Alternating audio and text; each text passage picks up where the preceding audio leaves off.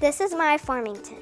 We did a snowflake ball. It's where you and your dad, you dance around and we take pictures and you get candy. And my favorite subject is reading. And my favorite book is Olivia Pig. And we did AR on the iPads. And I like crafts. I colored a turtle and we hung, hung it on the walls at Farmington. And your parents got to see all the art.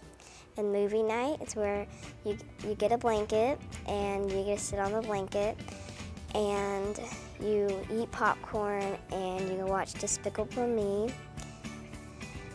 And gym is where our, our gym teachers is Mr. Mario and Miss Wood. We do fun games and one of the games are guard the castle and it was really fun.